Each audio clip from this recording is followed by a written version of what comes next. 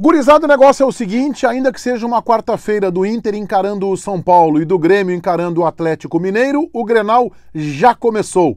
E ele começa fora de campo em cima de uma manifestação do técnico do Internacional Abel Braga, quando este elogia a base, os jovens valores do Internacional.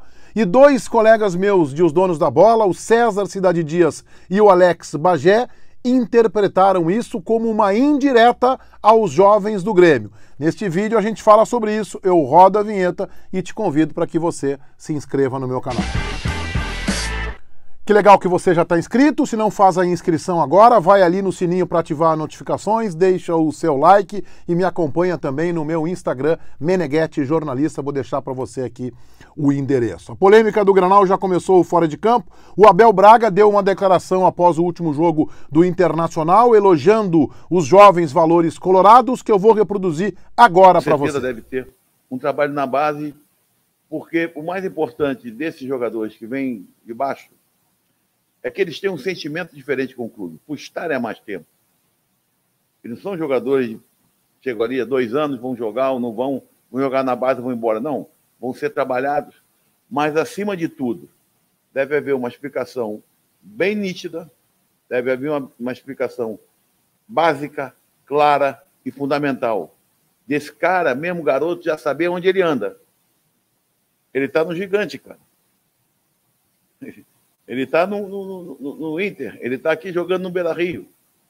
Então, acho que por isso, por esse trabalho, que não tem, sinceramente, cara, é, é difícil encontrar. O que a gente encontra mais é cara marrento, né? Porra, quando é cara velho te dá a resposta, pior que não é um menino que está ainda de fralda descartável e já está marrento. Então nós não temos isso. Isso é muito bom.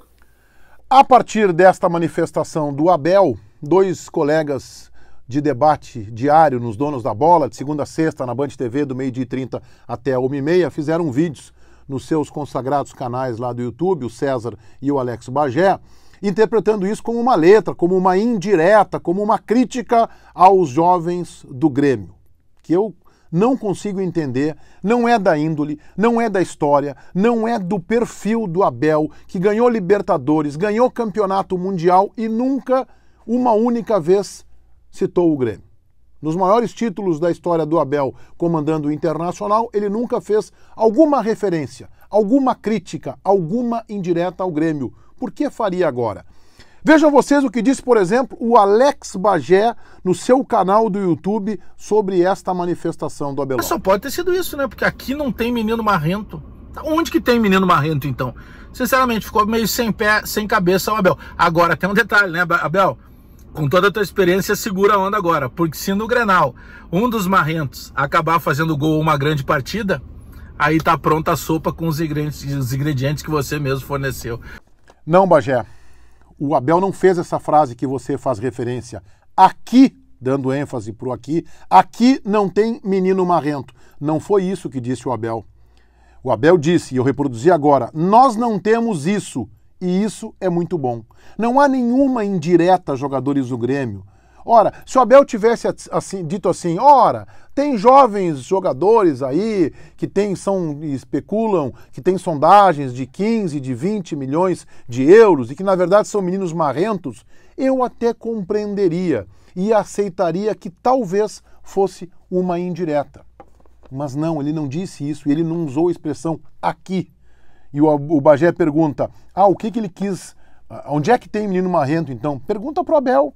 Mas não faz uma uma ilação equivocada e injusta, pelo menos no meu entendimento. Eu respeito a manifestação do Bagé, respeito a manifestação do César, a gente está sempre debatendo isso, é, é, esse tipo de assunto, de dupla granal nos donos da bola, mas eu acho que desta vez ambos leram errado. O Bagé chegou a falar, né? Ah, se algum dos meninos fizer gol, Abel, aí segura essa onda. Bom, mas o Abel não deu indireta para eles, ele não tem que segurar onda nenhuma. O que ele tem que tentar fazer como técnico do Inter é segurar o time do Grêmio como um todo. Os veteranos, os maduros e os jovens, sejam eles marrentos ou não. O César Cidade Dias, também no canal do YouTube, aliás, foi o primeiro que levantou esta bandeira, também fez uma interpretação, no meu entendimento, equivocada. Vejam aí o que disse o César. Eu quero que os meninos do Grêmio escutem isso. Porque existe uma situação no futebol Quando tu resolve no campo, o fora do campo vira nada. Quando tu não resolve dentro do campo, o fora do campo vira um monstro. E se a gente hoje, e aí eu falo de gremista para gremista, se os gremistas hoje criticam alguns dos meninos do Grêmio, sobretudo o GPR, é porque ele não está mostrando dentro do campo. E está aqui uma oportunidade, senhor GPR, senhor PP, senhor Matheus Henrique, senhor Darlan, está aqui uma oportunidade de dizer: aqui a gente resolve dentro do campo.